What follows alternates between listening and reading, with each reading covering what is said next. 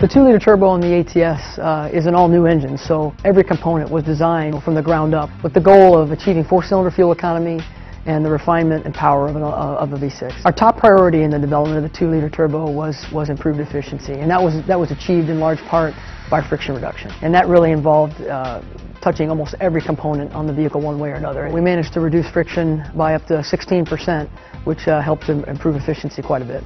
One of the key technologies is a, is a computer-controlled uh, variable displacement oil pump. That's really allowing us to, to operate at low pressure and therefore the pump's doing a lot less work and making a lot less noise over a much larger operating range. The wide torque band in the all-new 2-liter turbo uh, really makes the car fun to drive, especially when you're on a two-lane road, uh, say passing from 30 miles an hour to 70 miles an hour. It's just very quick to respond and the torque is there all the way through the event. The uh, twin-scroll turbo really improves its responsiveness, which is a great match for for the lightweight, agile um, characteristic of the vehicle. The all-new 2-liter turbo brings uh, direct injected turbo technology to, to Cadillac for the first time. The, the all-new 2-liter turbo makes, uh, makes an estimated 260 horsepower and 353 newton meters all the way from 1500 uh, RPM all the way up to 5800 RPM. The all-new 2-liter turbo in the ATS uh, uh, brings a lot of great new technology to, to Cadillac and, and with that technology comes a great balance of performance and refinement.